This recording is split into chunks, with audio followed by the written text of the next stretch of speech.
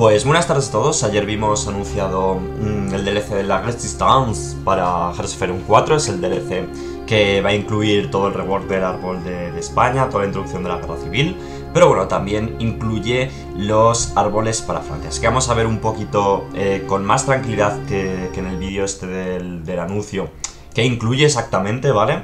Eh, os voy a explicar un poco todo lo que dijeron en la charla que vimos por la tarde, ¿vale? Que la podéis ver en Twitch, aunque seguramente lo resuba todo a lo largo de, de, esta semana, resuba todos los directos, por si alguien lo quiere ver, las reacciones en directo a los anuncios y esas cositas, ¿vale?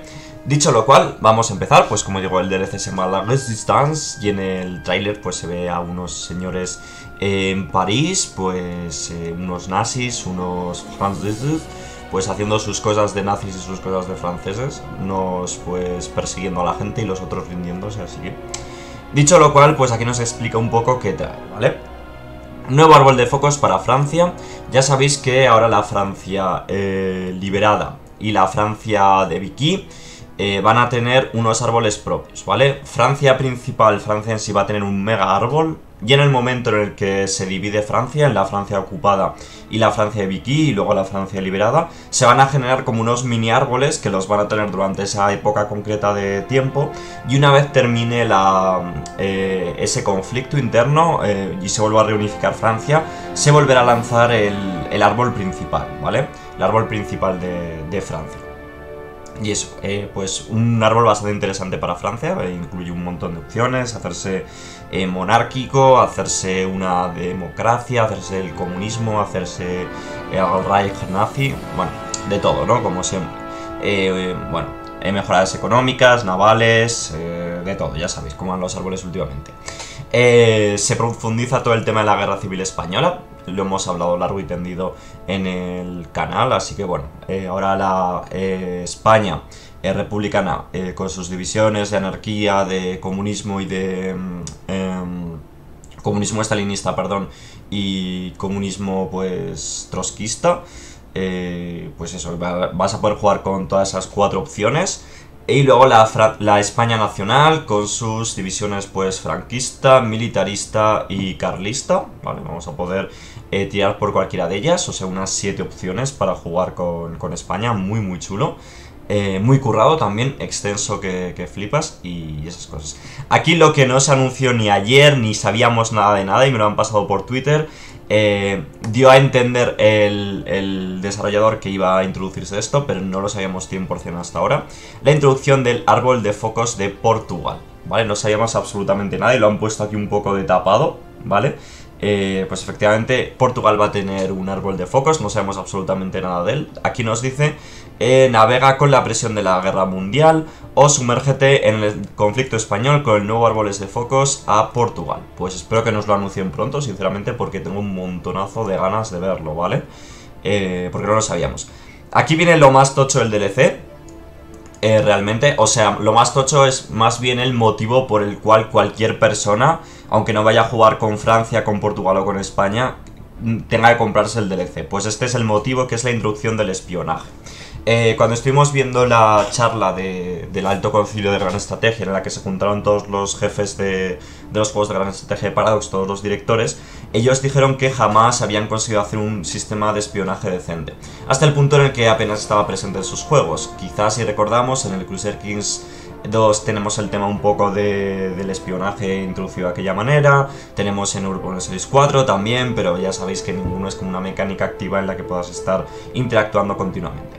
Eh, por lo que pudimos ver ayer con las imágenes que nos enseñaron, recuerda bastante a cómo funciona en Civilization, ¿vale? Y la idea es un poco que tú tienes que hacer una inversión potente en infraestructura en algún lugar y a cambio de, de ciertas fábricas tú puedes construir una agencia de espionaje. Esta agencia de espionaje se va a dedicar a reclutar operativos, ¿vale? Y vas a poder ir creando ramificaciones e ir eh, mejorándolas, ¿vale? Pues algunas ramificaciones serán de eh, operaciones encubiertas, otras serán de apoyo de suministros, otras de apoyar eh, complots de gobierno. Por ejemplo, ¿vale? Para que os hagáis una idea, el tema de eh, financiar a la oposición en países ajenos, ¿vale? Aquello de apoyar a un partido dentro de un país para que estallase una guerra civil, ahora lo vamos a hacer mediante la agencia de espionaje, ¿vale? También podemos darle suministros a unos rebeldes, también podemos... Eh, eh, ayudar a gobiernos colaboracionistas, eh, un montón de cosas, había un montón de opciones. Supongo que esto nos lo enseñarán más tranquilamente en algún diario de desarrollo, así que cuando sea, por supuesto, lo veremos todo en el canal. Eh, más cosas que deciros, todo esto va a ir muy ligado, todo el tema del espionaje va a ir muy ligado de las nuevas mecánicas de complicidad y de resistencia, ¿vale? Cuanta más alta sea la resistencia en una región, más fácil va a ser que nuestros espías, que nuestros operativos eh, puedan llevar a cabo su actividad con éxito en estas regiones, ¿vale? Ya que hay mucha resistencia, digamos que hay poca eficiencia del Estado en esos lugares, ¿no? Aquí nos, hablan de eso mismo, apoyar la resistencia. Podemos utilizar a nuestros agentes para apoyar a movimientos eh, de resistencia y eh, hacerlo nos ayudará a dañar al enemigo, ¿no? Em, deciros en este sentido que eh, había cosas que sonaban muy interesantes, ¿no? En plan de que tú puedes tener a un operativo que vaya a hacer una misión y si ves que no va a poder solo, mandar a más, hacer que se especificen un poco, como digo, un poco estas ramificaciones de nuestra agencia eh, que por cierto, podremos nombrarla como queramos y creo que podemos elegir entre varios iconos, o sea que hay a nivel de personalización bastante chulo. Y que creen que es el primer eh, sistema de espionaje decente que han hecho en un gran estrategia, así que el hype en ese sentido está bastante alto. No sé vosotros qué pensaréis de esto, pero a mí la verdad que me llama bastante. Eh, gobiernos de colaboración, pues también podemos... como un país que esté ocupando una región, pues podemos pensar, por ejemplo, en la Alemania nazi ocupando ese norte de Francia. Eh, pues hay también un indicador de colaboracionismo, ¿vale? Cuanto más alto sea ese indicador, más eh, se refleja que la población está apoyando al nuevo gobierno o al régimen de ocupación y eh, más recursos nos darán, más infraestructura, etcétera, ¿vale? Y, menos, por supuesto, dañarán la infraestructura, menos no nos darán recursos, etcétera, ¿vale? O sea, es también un poco ese balance entre colaboracionismo y, y resistencia, ¿vale? También se ha reworkado del todo el sistema de inteligencia, ¿vale? Incluso se ha mejorado, introducido cosas nuevas y tal. Y es que ahora en el Ledger vamos a poder ver qué cantidad de información tenemos de nuestros enemigos en distintas áreas. En tema naval, en tema militar, en tema aéreo, en tema de comercio, de rutas comerciales, etcétera, ¿vale? ¿Qué quiere decir esto? Pues que eh, de punto de partida nuestros países o todos los países van a tratar de encriptar un poco sus conversaciones o sus formas de transmitir, de, pues transmitir la información, etc. Y ahora, desde nuestra eh, agencia de investigación, podemos tratar de desencriptar las, eh, los datos ajenos. Hasta el punto de que puede pasar incluso como en el proyecto Enigma, ¿vale?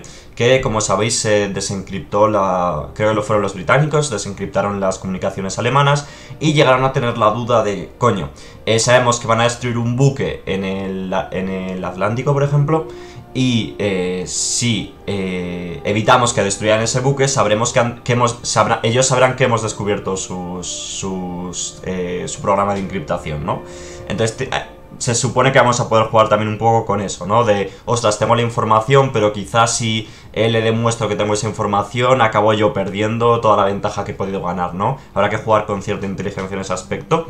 Y por lo visto han querido introducirlo, así que veremos cómo acaba llegando. Así que en ese sentido, eh, llega todo el tema de desencriptar y craquear códigos. Eh, vamos a poder hacer inversiones en ese aspecto. Ya también un poco de la mano de nuevas leyes y nuevas políticas, si no me equivoco que, lo mencionó, así que vamos a poder, eh, si queremos, eh, orientar un poco toda nuestra actividad eh, gobernativa hacia, hacia esa desencriptación o simplemente poder hacerlo.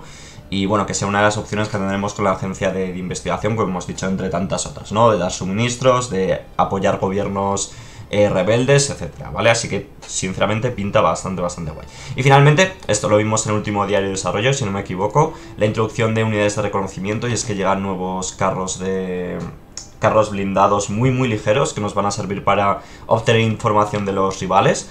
Y como digo, pues toda esa información que ya hemos dicho que es naval, terrestre, en un montón de áreas, pues nos va a poder servir para ganar la guerra con más facilidad para tener más información sobre lo que está haciendo el enemigo. Yo creo que podemos llegar hasta el punto del EU4 con las ideas de espionaje, ya lo sabéis, que puedes ver incluso en dónde tiene cada una de sus tropas el, enemigo, lo cual es sin duda muy muy muy interesante. Y sinceramente, eh, creo que es uno de los DLCs que más chulos pinta, de los que se anunciaron ayer. Em, A ver si puedo tener vídeo también del de Imperator Rome y del de Stellaris, que, también pintan realmente chulos. Y poquito más, no hay fecha de lanzamiento, me temo, pero por todo lo que vimos ayer, ¿vale? Por todas las imágenes que nos enseñaron, el producto está bastante terminado. Eso sí, nos falta, nos tienen que enseñar todavía cómo funcionan las agencias, cómo funciona bien el tema de inteligencia, que estas dos cosas en sí ya pueden llevar un montón de diarios de desarrollo. Nos tienen que enseñar el árbol de focos de Portugal que bueno, o sea, faltan estas tres cosas y una vez estén ya enseñadas, pues ya estará bastante cerca la fecha de lanzamiento. Yo espero eh, lo más tardano que. lo más tardío que anunciaron fue algún DLC para noviembre, así que probablemente en diciembre podamos llegar a ver esta expansión, ¿vale? Eh, esas son mis teorías, obviamente, luego puede ser que lo digamos para el año que viene, no hay nada. Eh, no hay nada por sentado todavía. Pero bueno, en cualquier caso sabemos que está bastante cerca, ¿vale? No es como la del EU4 que no se dijo absolutamente nada de U4, lo cual también es indicador de que las cosas pues están avanzando a otro ritmo por allí, etcétera, ¿no? Y nada más chicos, eh, muchas gracias por llegar aquí y nos vemos en el próximo. Chao, chao.